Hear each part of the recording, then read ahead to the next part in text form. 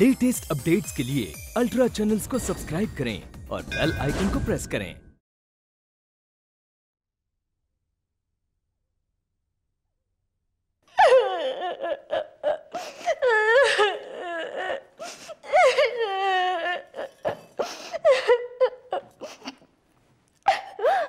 कजरी। हे कजरी। आज अपनी अपनी कजरे पर हाथ उठाया। ये ये अच्छा नहीं किया तिवारी जी तुमने। अरे हम क्या करते? तुम भी कितना बोले चली जा रही थी। चबल चबल चबल चबल। अब गुस्सा आ गया। गुस्सा आ गया? अरे गुस्से में तुम तुम हम पर हाथ उठाओगे? हम अभी अपने भैया को फ़ोन लगाते हैं। उन्हें भी तो पता चले कि उनकी बहन यहाँ कैसे है हम अभी फ़ोन लगाते हैं। अरे नहीं नहीं ऐसा मत करो ऐसा मत करो। सॉरी हम गलती मान रहे हैं ना। हम तुम्हारी कोई बात नहीं सुनना चाहते हाँ। देखो कजरी ये तुम झूठ का है बोलोगी कि हम तुमको लात घूसा मार रहे थे? अरे हमने तो धीरे से गाल छुआ था और तुम गाल छुआ था? देखो कितना ज़ोर का तमाचा दिया है कि पूरा गला अभी तक लाल है। और कहते गाल छुआ था हम ऐसा मत करो वो देसी तमंचा और बम लेके आएँगे हमको उड़ा देंगे फिर तू तू तो विधवा हो जाएगी। अरे ये सिंदूर पुट जाएगा चूड़ी टूट जाएगी ये देखो जी देखो जी हमको ये सब बातें कि हमको डराओ नहीं। हम तुम्हारी इन सब बातों में नहीं आने वाले। हम अपने भैया को ज़रूर बताएँगे कि तुम कितने जल्लाद कसाई बन गए हो। अरे अब तुम इतना काहे रो रही हो? अरे वो हमारी मजबूरी थी हाँ जो हम तुमको थप्पड़ मारे। तुम तुम वो प्रशांत को घर से निकाले दे रही थी। उसको तो अब घर से जाना ही पड़ेगा और अब तो ज़रूर जाना पड़ेगा। अब या तो वो यहाँ रहेगा या मैं। तुम्हें अपनी बीबी से ज़्यादा प्यार है या अपने भांजे से? देखो कजरी ऐसी बात नहीं इधर देखो। ऐसी बात नहीं है अरे तू तो हमारी जान है हमारी पत्नी है अर्धांगनी है तू हैं? अरे हम तुमको ऐसा देखो अरे पति पत्नी में ऐसा प्यार से थपरा तो मार दिया जाता है। थपड़ा मारा है? पूरा कंताप जड़ मारा गाल पे और कहते थपड़ा मारा है। सच्ची? ज़ोर से लग गई क्या? और नहीं तो अच्छा अब तुम भी हमको मार लो मारो हमको और हिसाब बराबर कर लो। अरे अरे ये क्या कर रहे हो? पगला गए हो का? तुम ये बात अच्छी तरह जानते हो। कि हम तुम पर हाथ नहीं उठा सकते। और फिर हम उन औरतों की तरह नहीं है जो अपने पति पर हाथ उठाती है। तुम ये बात अच्छी तरह जानते हो ना जी तभी हमसे ऐसी बातें कर रहे हो। अरे तुम तो तुम तो हमारे भगवान हो। पति हो जी। तो रोया होया मत करो तुम हैं? हैं? जब भगवान मानती हो तो भगवान की तरह पूजा किया करो हमारी। दीदी सुबह आपको कहीं जल्दी तो नहीं जाना? देखिए ना रात कितनी हो गई है और हम लोग अब तक बात ही कर रहे हैं। सुबह की कोई टेंशन नहीं है मुझे कहीं नहीं जाना। आराम से उठेंगे। हाँ तो मैं क्या कह रही थी? शोभा की शादी के बारे में। हाँ शोभा की शादी। देखो ना शोभा को कितना अच्छा जीवन साथी मिला है। कितनी अंडरस्टैंडिंग है दोनों में। नो प्रॉब्लम्स मानसी तुम्हें भी शादी कर लेनी चाहिए। मुझे? लेकिन क्यों? देखो अभी तुम्हारी उम्र है। एक अच्छा जीवन साथी मिल जाए तो ज़िंदगी खूबसूरत हो जाती। क्या दीदी? आप भी ना, मम्मी और उर्मिला दीदी की तरह शादी की सलाह देने लगी? तो क्या तेरा शादी का कोई इरादा नहीं है? सारी ज़िंदगी अकेली रहेगी, कुंवारी? रहूँगी या नहीं रहूँगी? लेकिन शादी के बारे में मैंने ऐसा कुछ नहीं सोचा है। शादी मेरी लाइफ की प्रायोरिटी नहीं है। मानसी, ये शादी और ब्याह समय रहते ही करनी चाहिए। उम्र और वक्त बीत जाने के बाद इसका कोई मतलब नहीं। है दीदी शादी की ज़रूरत मुझे कभी महसूस नहीं होती। और शादी करके किसको कितना सुख मिल गया है वो मैं अपने आसपास देख ही रही हूँ। जो दूसरों का अनुभव है वही तुम्हारा हो ये ज़रूरी तो नहीं। ज़िंदगी के तजुर्बे आपके अपने होने चाहिए। सिर्फ़ तजुर्बा और अनुभव लेने के लिए मैं ये शादी की रस्में निभाऊं ये मुझसे नहीं होगा। हाँ अगर कोई मुझे मिला जिसे देखकर जिसे मिलकर लगा कि वो मेरी ज़िंदगी में शामिल हो सकता है तो मैं उससे शादी ज़रूर करूँगी। लेकिन अभी नहीं। मैं तो यही मनाऊँगी कि बहुत जल्दी तुझे तेरी पसंद का लड़का मिल जाए। चलो बहुत सारी बातें हो गई अब चल के सोते हैं। हो सकता है कि आज सपने में वही लड़के से तुम्हारी मुलाकात हो जाए। दीदी आप भी ना। अच्छा सुन वो खिड़की बंद कर देना। थोड़ी ठंड सी हो गई है। हम्म? ओके दीदी। Bye good night good night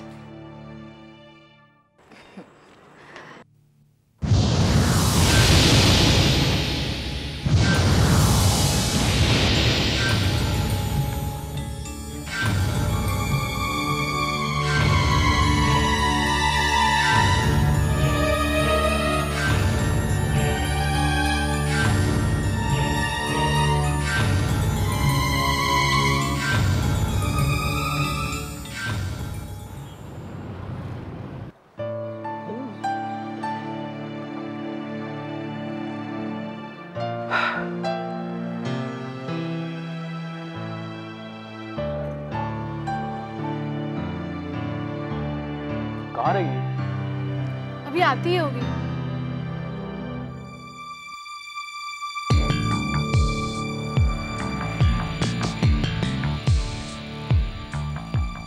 अरे ये वहाँ क्यों रुक गई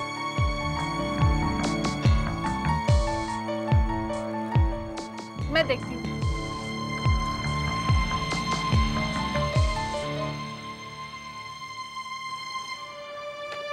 अरे सबीना तुम रुक क्यों गई? आओ बैठकर बातें करते हैं। आप अपने पति को लेके क्यों आए हैं?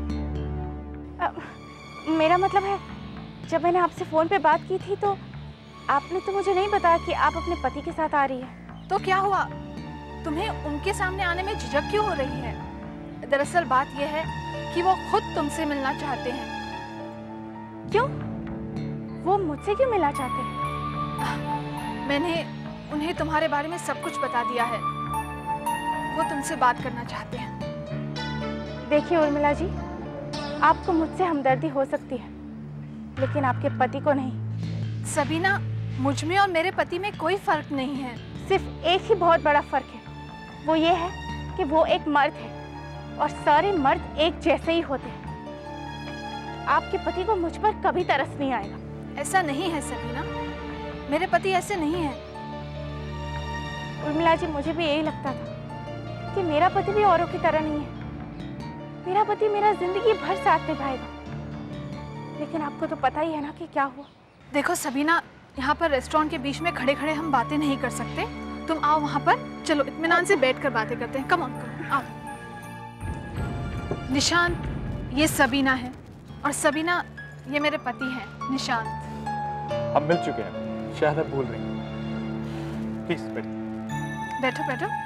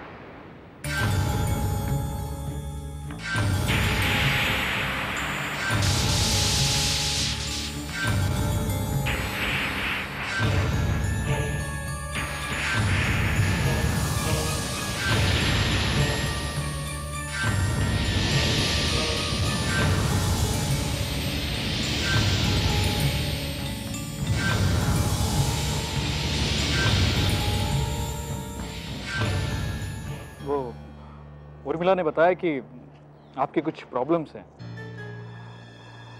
देखिए हम आपके बारे में ज़्यादा जानते तो हैं नहीं। मतलब आप कौन हैं? आपका घर कहाँ है? आपके पति कौन है? हम सिर्फ़ इतना जानते हैं कि आपका नाम सबीना है। आप हमारी गाड़ी से टकराई थी, उसके बाद उर्मिला से आपने अपनी प्रॉब्लम्स बताई थी। इतना बहुत है। और क्या जानना है? नहीं कुछ नहीं मतलब अगर हमें कुछ पता चल सके तो हम इनके पति को ढूँढने में मदद कर सकते हैं। जानबूझकर भागे हुए को खोजना बहुत मुश्किल है। वो कोई गुमराह थोड़ी हुआ है। उसने तो इस बेचारी को धोखा दिया है। खैर जो कुछ भी हो। देखिए सबीना जी मैं सिर्फ़ इतना कहना चाहता हूँ कि जिस तरह उर्मिला ने आपसे हमदर्दी जताई। आपकी मदद के लिए तैयार हो गई। ये इसका अपना स्वभाव है। किसी का दुख इससे देखा नहीं जाता लेकिन लेकिन क्या? मुझे बात तो खत्म करने दो उर्मिला। देखिए दूसरों की सेवा करना परोपकार करना सब कुछ ठीक है। लेकिन आप जिन मुश्किलों में हैं आपकी परेशानी एक दिन की नहीं है। आप माँ बनने वाली हैं और आपके सामने आपके बच्चे के फ्यूचर का सवाल है। और आपका यहाँ कोई है भी नहीं अपना। अब ऐसे में कोई आपकी कब तक मदद कर सकता है? मतलब आप समझ रही ना मैं क्या कहना चाहता हूँ आपसे?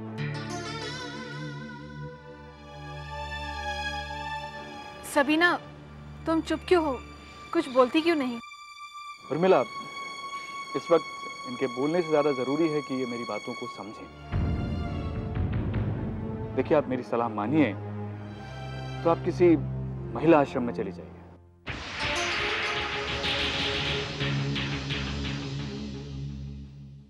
इस शहर में तमाम ऐसी संस्थाएँ हैं जो इस तरह की बेसहारा औरतों को सहारा देती हैं और पूरी मदद करती हैं। वहाँ आप अपने बच्चे को भी जन्म दे सकते हैं।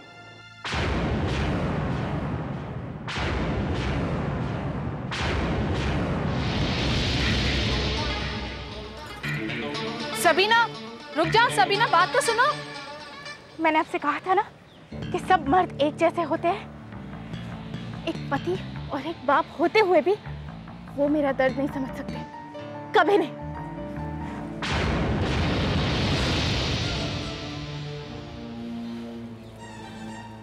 निशांत, तुम्हें क्या ज़रूरत थी उसे ऐसी सलाह देने की? अगर उसे ऐसे किसी जगह पर जाना होता तो वो यहाँ पर क्यों आती? हमारी मदद मांगने हमारी सलाह लेने। मैं तो उसके भले की बात कर रहा था। क्या भलाई? कौन सी भलाई? किसी के दुखते जख्म पर चोट पहुँचाने वाली बात है ये और तुमने भी यही किया है। शायद सबीना ठीक ही कहती है। सारे मर्द एक जैसे होते हैं।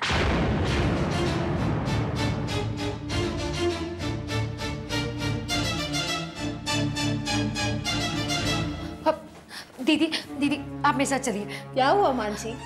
दीदी वो वो प्रशांत मोदी। ओफो ये सुबह सुबह प्रशांत मोदी का नाम क्यों लेती हो तुम यार? दीदी वो पूरी रात से हमारे घर के बाहर खड़ा है। क्या? हाँ दीदी मैंने कल रात भी उसे वहीं खड़ा देखा और अब भी वो वही खड़ा है। हो माई गॉड लेकिन ये सब वो क्यों कर रहा है? दीदी मेरी तो कुछ समझ में नहीं आ रहा। ये सब करके आखिर वो क्या जताना चाहता है? तुम्हें पूरा यकीन है कि वो रात से यहीं खड़ा है? दीदी रात को खिड़की बंद करते समय मैंने उसे वहीं खड़ा देखा।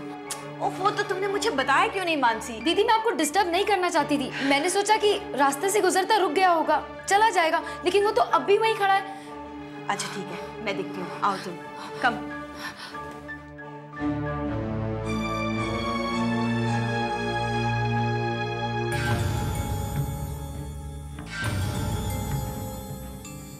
माय गॉड इसकी दीवानगी तो बढ़ती जा रही है। अगर वक्त रहते इसका इलाज नहीं किया ना तो ये बीमारी लाइलाज हो जाएगी। मैं जाती हूँ उससे बात। करने। नहीं दीदी आप मत जाइए। तो क्या तुम जाओगी उससे बात करने? अरे एक आदमी सारी रात से घर के बाहर खड़ा है। आखिर उसे पूछो तो सही वो चाहता क्या है? तो रुक।